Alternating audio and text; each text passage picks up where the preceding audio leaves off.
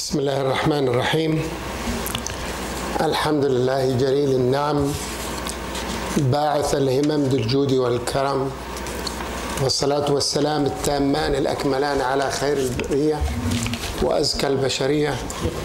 محمد بن عبد الله وعلى آله مصابيح الدجى والعروة الوثقى وأصحابه الميامين وسلم تسليما كثيرا.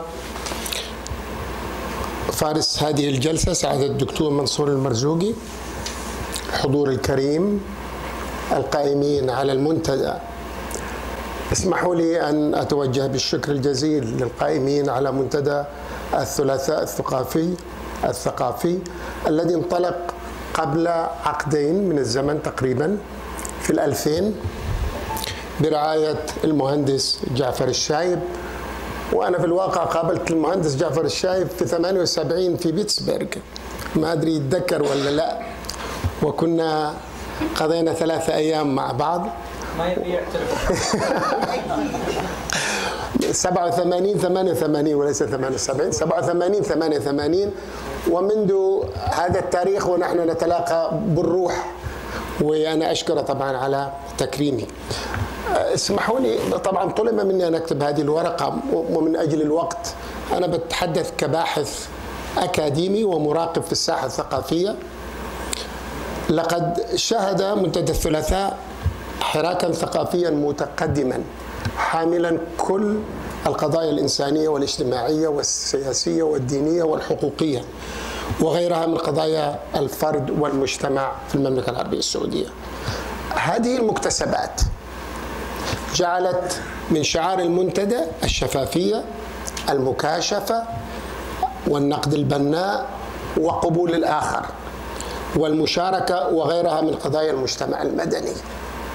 خلال العقدين الماضيين استطاع المنتدى أن يحقق بعض الأهداف الرئيسة وأن يؤسس لنشاط ثقافي متميز يتسم بالانفتاح على الآخر والتواصل معه بل والديمومة اللامتناهيه وهذا يشبهني المهندس جعفر عندما حكمت الآلهة على شيسيس إنه يأخذ الحجر ويطلعها فوق الجبل ثم تتدحرج الحجر لنهاية الجبل ثم يأخذها مرة ثانية ويطلع مر وهكذا حتى حتى ما مات. فجعفر يعني لله در على هذا الصبر.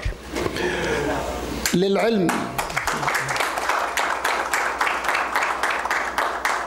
للعلم لقد شارك في المنتدى العديد من المثقفين من ذوي الاتجاهات فكرية متعددة من داخل وخارج مناطق المملكة حيث ناقشوا القضايا ذات الاهتمام المشترك وقد تشرفت أيضا أنا بدعوة في أعتقد 2005 في هذا المكان المبارك في هذا المنبر الحر الذي لم يتغير كما هو ووجيهكم المبتسمة وهذا المكان المبارك. السادة الحضور. أن الساعة تستوجب الهمة العالية والسير وفق وفق برنامج موجه بجميع الكفاءات والمسؤولين وأصحاب الرأي ممن نختلف معهم ونتوسم فيهم خيرا. نشاركهم ونتعاطى معهم كلا حسب خبراته وواجباته. وتخصصه. اخذين بعين الاعتبار مبدأ المواطنة وأنا احبيها دائما المواطنة. أخيرا أخيرا أتمنى لكم النجاح والتوفيق ونسأل الله تعالى أن يبارك لكم أعمالكم وسعيكم. إنه جواد. السلام عليكم ورحمة الله وبركاته. أتمنى اني ما أطلت.